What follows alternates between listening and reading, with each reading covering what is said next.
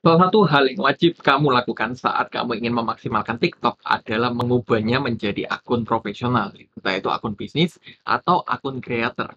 Nah, saat kamu mengubahnya menjadi profesional, ada data-data atau analitik yang kamu bisa baca dan mungkin kamu juga bingung gitu ya, sebenarnya gimana sih cara membacanya? Akan kita bahas di video kali ini.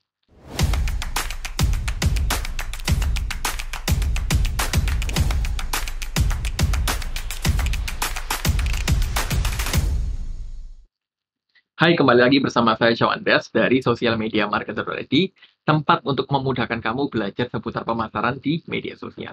Jadi seperti topik kita hari ini adalah sebenarnya gimana sih cara baca data-data yang ada di TikTok atau yang biasanya dikenal dengan TikTok Analytics ya. Nah, agar memudahkan kamu, sini saya sambil share handphone saya aja, gimana caranya kita itu membaca data yang disediakan oleh TikTok.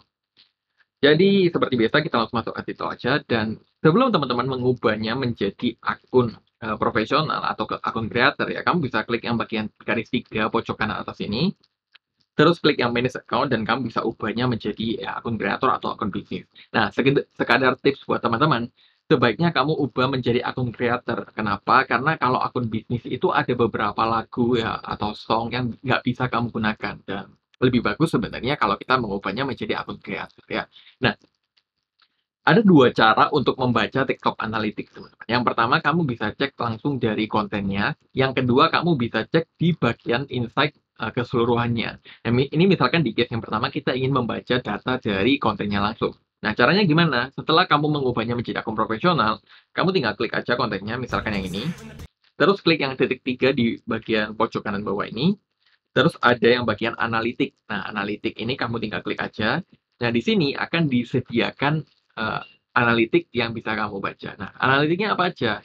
Kita bahas dulu yang pertama, teman-teman. Jadi yang bagian pertama, yang bagian segitiga ini, segitiga miring gitu ya, itu ada yang namanya uh, play, play time ya. Jadi uh, berapa banyak video kamu itu diputar ya. ya kalau di sini contohnya 137 4, uh, 137 400 ya. Ini mirip seperti reach dan impression ya. Kalau misalkan di yang uh, segitiga ini itu reach ya. Jadi menjangkau 137 1.400 orang. Sementara total playtime itu berapa kali video kamu diputar ya. Semakin video kamu diputar berulang-ulang itu tentunya akan semakin bagus bagi TikTok ya dan itu yang uh, sempat kita bahas di video-video yang lainnya yang dinamakan retention rate ya. Jadi berapa kali orang itu melihatnya berulang, reward rate ya. Berapa kali orang itu menonton berulang-ulang ya. Lalu yang sebelahnya ya mirip seperti media sosial lain di mana like ya. Jadi berapa banyak orang yang menyukai konten ini. Lalu yang selanjutnya adalah komen, jadi berapa banyak total komentar yang terjadi ya, yang ada di konten ini. Yang ketiga adalah share, jadi berapa banyak konten ini dibagikan. Kalau di sini contohnya mendapatkan 410 share, 169 total komen, dan 24.000 like. Lalu di bagian bawahnya adalah total playtime, jadi berapa banyak video ini diputar berulang-ulang. Lalu yang selanjutnya adalah average time ya. Jadi berapa rata-rata ya video ini diputar itu di detik uh, sampai detik berapa ya. Lalu yang selanjutnya adalah watch full video. Jadi ada 34% ya yang menonton video ini. Lalu yang yang menonton sampai habis ya dari uh, berapa banyak yang melihat video ini. Lalu ada, yang selanjutnya adalah reach audience. Jadi ada 124.000 10 orang yang bisa kita jangkau dari konten ini. Nah, di bagian yang selanjutnya adalah video views section ya. Jadi ini mirip seperti uh, kalau teman-teman melihat Instagram itu kan ada yang namanya impresi explore, hashtag dan lain-lain. Ini mirip seperti itu di mana video ini ditampilkan dari masuk ke for you. For you itu FYP ya. Jadi orang-orang melihat video ini itu berdasarkan dari FYP mereka. Terus di bagian bawahnya ada personal profile. Jadi saat ada orang yang mengunjungi akun kamu, terus mereka melihat nih, oh ini konten apa sih, lalu mereka melihat seperti itu. Lalu di bagian following itu adalah orang-orang yang follow kamu. Jadi uh, konten ini menjangkau orang-orang yang follow aku. Dan di bagian region ini kita bisa lihat 99% eh, dari Indonesia ya. Jadi orang-orang Indonesia, eh, Indonesia lah yang menonton video ini ya. Lalu tidak hanya di analitik, di bagian kontennya, kita juga bisa melihat insight secara atau analitik secara keseluruhan. Caranya kamu tinggal klik yang garis tiga ini, Terus klik yang Creator Tools dan di sini ada Analytics. Nah, analytics-nya di sini uh, berbagai macam ya. Yang pertama ada engagement, jadi berapa banyak video views. Oke, ini saya contoh share aja. Jadi video views-nya, terus ada profile views, jadi berapa banyak yang mengunjungi profile kamu dalam 7 hari terakhir ya. Ini teman-teman bisa setting ya. Mau 7 hari, mau 28 hari, mau 60 hari, mau di custom, bebas ya. Tinggal disesuaikan aja. Lalu ada total like selama 7 hari, komen, share, dan sebagainya. Terus selanjutnya adalah di bagian followers. Jadi followers ini kita bisa lihat perkembangan followers kita selama ini ada durasinya ya, Oktober 4 Oktober sampai 10 Oktober. Di mana ya kalau di sini juga ada new followers, jadi berapa banyak followers yang kamu dapatkan dalam waktu selama kurang lebih satu minggu. Terus di sini juga ada data-data seperti gender ya, jadi apakah followers teman-teman ini lebih dominan uh, cowok atau cewek ya.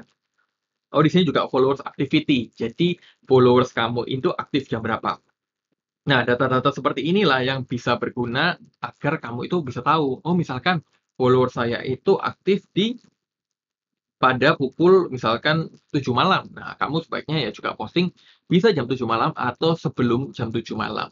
Sehingga ketika kamu posting, ya video kamu berpotensi untuk ditonton mereka. Ya kan, nggak mungkin kalau misalkan teman-teman di sini audiensnya aktif jam 7 malam, tapi postingnya jam 3 pagi, ya nggak ada yang lihat. Ya, Terus uh, selanjutnya di bagian Creator Tools ini Analytics uh, ada yang bagian live video konten ini ya konten sih secara keseluruhan jadi kamu bisa melihat insight konten kamu secara keseluruhan terus video yang trending terus di bagian live ini kalau misalkan teman-teman di sini melakukan live ya itu nanti akan keluar datanya ya kebetulan di sini saya nggak live di TikTok ya. Ya live tapi jarang. Tapi ya karena dalam tujuh hari terakhir atau 28 hari terakhir saya nggak melakukan live. Jadi ya tidak ada insight yang diberikan di TikTok ya. Dan itu aja uh, gimana sih cara kita itu membaca analitik di TikTok dan tentunya data-data seperti ini itu akan sangat bermanfaat jika kamu ingin memanfaatkan TikTok kamu. Entah itu mungkin teman-teman di sini ingin endorse mungkin. Nah, endorse itu kan kamu bisa sertakan gendernya followersmu ini kebanyakan apa, mayoritas apa, lalu jam jam uh, followersmu aktif itu uh, bisa kamu gunakan ketika kamu itu ingin posting sebuah video ya. Dan ya, pastikan kamu juga tetap terus ya nonton video ini dan kamu tidak hanya nonton video ini, pastikan kamu juga subscribe video ini, subscribe channel ini, dan aktifkan loncengnya agar kamu nggak ketinggalan informasi seputar cara jualan atau pemasaran di media sosial. Sampai jumpa di video-video yang lain.